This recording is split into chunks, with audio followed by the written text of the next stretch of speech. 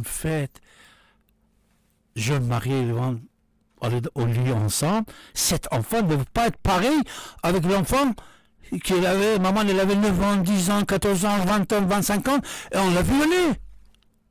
Et on l'a violé. Génétiquement, n'est pas la même.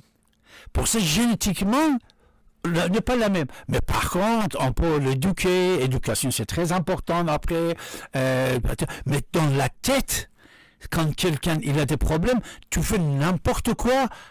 C'est une exception. Par exemple, moi, je connais une école, puisque je suis euh, délégué de- euh, des parents depuis que tu étais enfant. Morgan. Depuis que tu étais enfant, dans toutes les là, tout ça, j'étais délégué. Et actuellement je suis délégué. Pour ça, de temps en temps, j'ai constaté, par exemple, dans une école,